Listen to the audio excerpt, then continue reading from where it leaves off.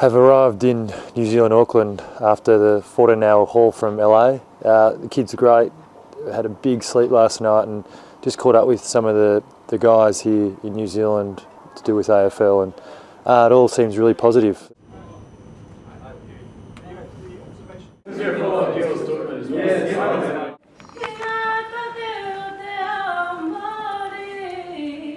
Yeah, footy's been played over here for 130, 140 years. Uh, probably kicked off with the, the gold mining rush back in uh, the 1800s. And uh, we're just seeing a bit of a renaissance now. Over the last two years, we've started to develop AFL Kiwi Kick, which is a sister program to AFL uh, Auskick. And over that period, we started with zero uh, two years ago, and now that's grown to 30,000 kids, participants.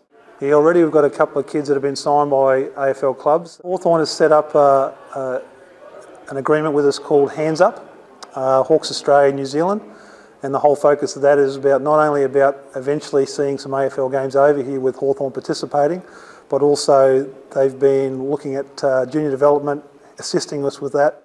Today I'm taking New Zealand for a training session in their preparation for the International Cup. Uh, they've been in the final the last uh, three tournaments. So uh, I'm sure they're going to be strong again. Uh, there's, there's, something about uh, the Kiwis and uh, something in their belly and in their heart that I love the way they play sport. And um, I'm sure these guys are going to be no different. Good, good. Yeah, that's it, good talking. Yeah, that's what you want. When you're not at training, when you're at work or at uni or whatever you're at, it's okay to be as quiet as a mouse and have a quiet personality. But when you step on the training track and when you're playing, you need to use your voice. What I love about footy is just the, the physical and mental challenge that it has. I think it's a lot higher than the other sports. Such a long game and such more running and things like that. It kind of challenges you a lot more than rugby and the other sports that I've played.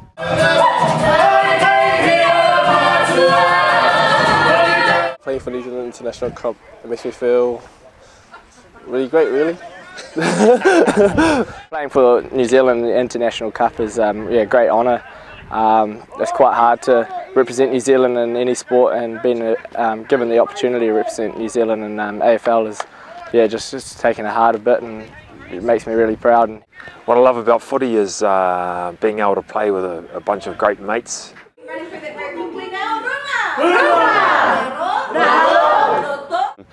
Hearing the anthem and doing the haka, it's um, yeah, it's a proud thing. Uh, can't really describe it, but it's makes me proud to be a Kiwi.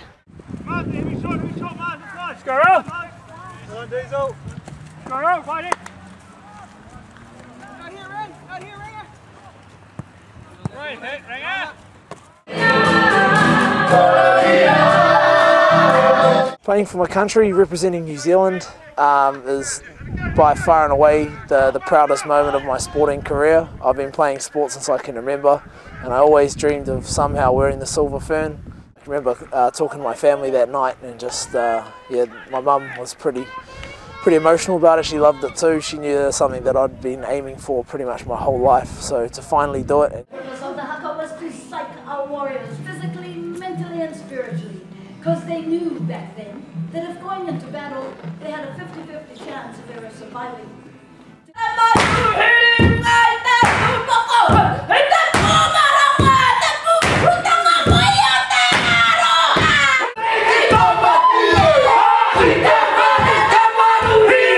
The haka we, uh, we perform before every game is, um, is basically, uh, traditionally, it's, it's a challenge laid down to the opposition. It's, um, it's a it's a, it's actually shows a lot of respect to our opposition.